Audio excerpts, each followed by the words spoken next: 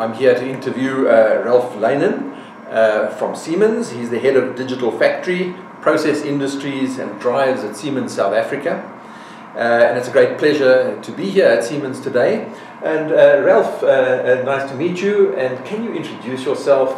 Um, as you said, my, my name is Ralf Leinen. I'm coming from Germany. I'm actually 27 years with Siemens.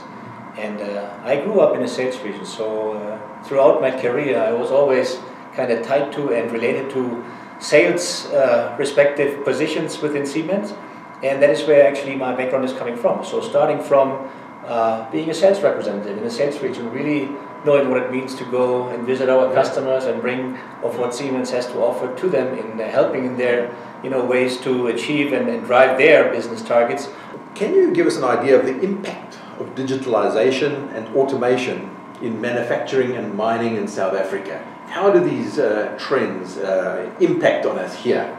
I would almost say digitalization changes everything. The way that we read books nowadays, or the way that we travel, for example, uh, by either ordering a taxi by phone or going by an app on our phone. So I think what's happening in private life does also play a vital role in the business life, in the life of manufacturing and mining as well.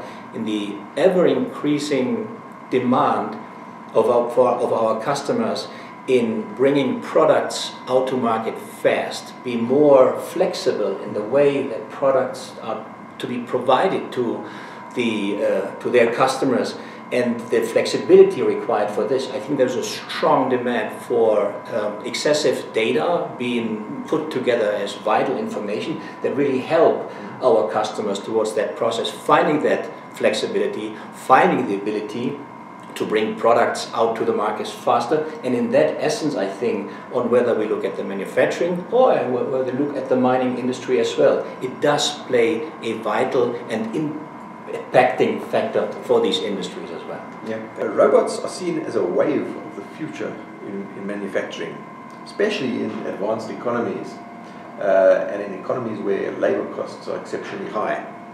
Uh, but is this technology uh, only relevant to advanced, uh, uh, advanced economies, or does it also have relevance for developing economies like South Africa, where there is, in fact, already massive unemployment?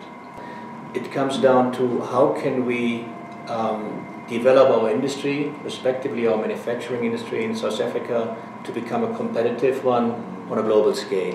And with that, so for example, um, I'd see also that, as you said, robots will ultimately support the manufacturing industry in reaching an amount of quality expected and needed in such a global competitive environment.